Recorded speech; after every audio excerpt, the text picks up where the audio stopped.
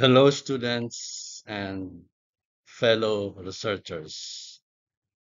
I am going to discuss research designs focusing on quasi-experimental designs and their applicable statistical analysis tools.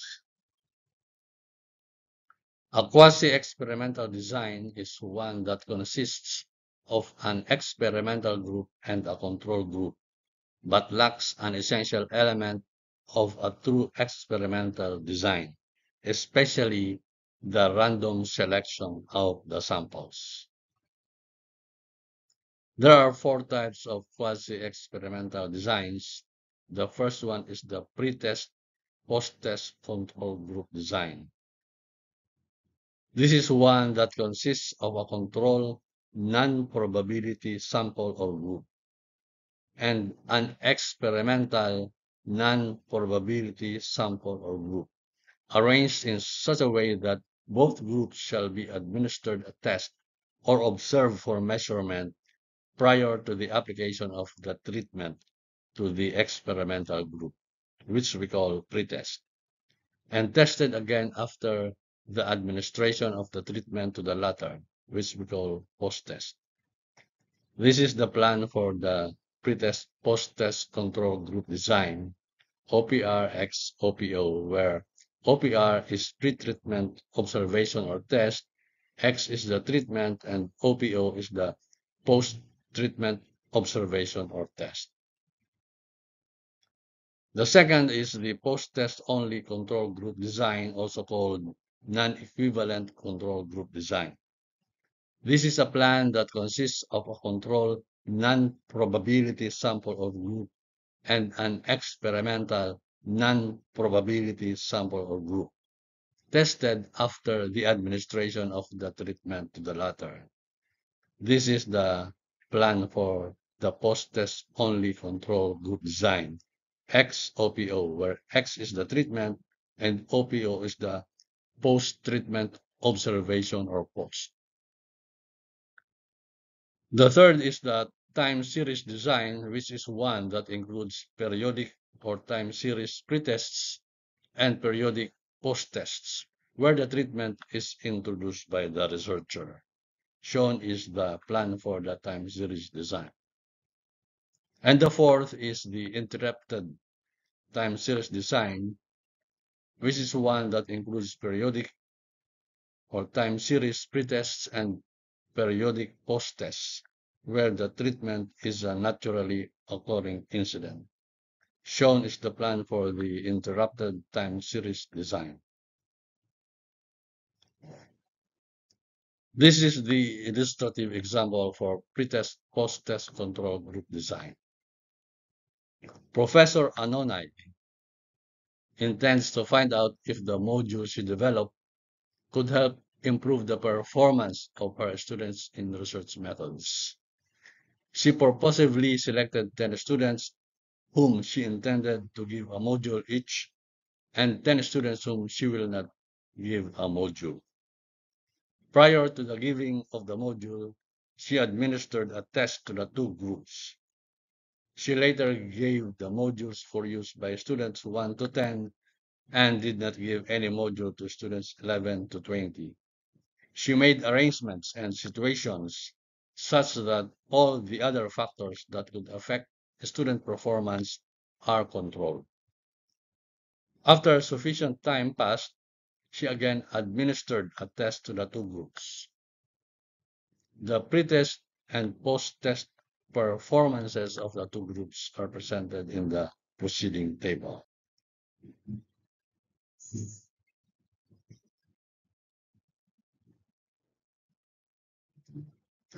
From this design and results, it will be possible for us to find out if there is a difference between the performances of the experimental and control groups before the treatment. The experimental and control groups after the treatment. The experimental group before the treatment and the experimental group after the treatment. And the control group before the treatment and the control group after the treatment. The applicable statistical tools to professors to Professor Anonai's study situation are presented in the following table. You see, only arithmetic mean and difference will be used. No test of significance can be used because the samples are non-probability. The Excel solutions for the specified statistical analysis tools are presented in the proceeding table.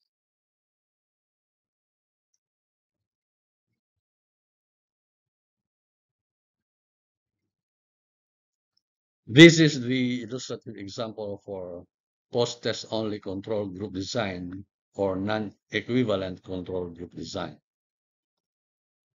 Professor Anonai intends to find out if the modules she developed could help improve the performance of her students in research methods. She purposely selected 10 students whom she provided a module each and 10 students whom she did not give a module. After some time, she administered a test to both groups, the results of which are given in the following table.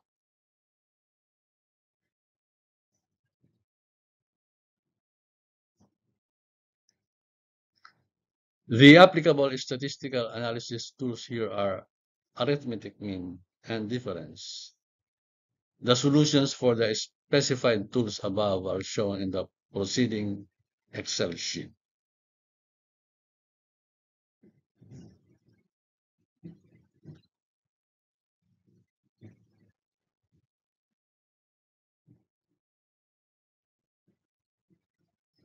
This is the illustrative example for time series design.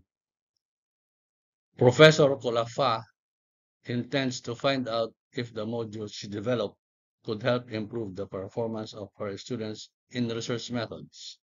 She purposefully selected five students whom she intended to give a module each, and five students whom she will not give a module. Prior to the giving of the module, she administered a four-day series of 25-point tests to the two groups. She later gave the modules for use by students 1 to 5 and did not give any module to students 6 to 10. She made arrangements and situations such that all the other factors that could affect student performance are controlled. After sufficient time passed, she again administered a four-day series of tests to the group. The pretest and post-test performances of the two groups are presented in the preceding table.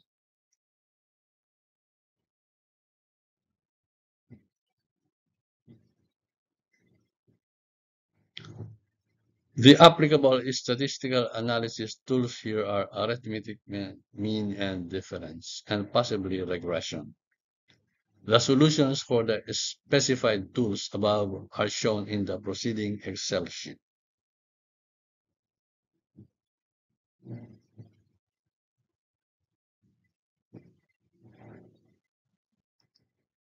This is the illustrative example for interrupted time series design. Professor Quatog intends to find out if typhoons could help increase donations by donors to his civic organization. He purposely selected 10 donors prior to any typhoon, five of whom he intended to inform of the occurrence and five of whom would not be informed about it. Prior to any typhoon, he solicited donations from the 10 donors. He solicited for four consecutive days from the two groups. After a typhoon occurred, he again, uh, he again conducted a four-day solicitation drive to the two groups. The pre-test and post-test donations of the two groups are presented in the proceeding table.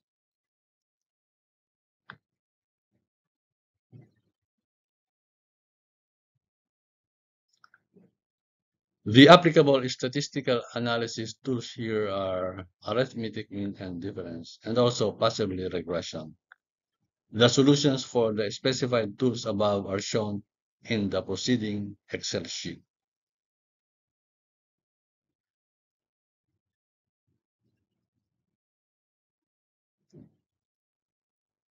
Students and fellow researchers, I hope you gained some additional information about quasi-experimental designs.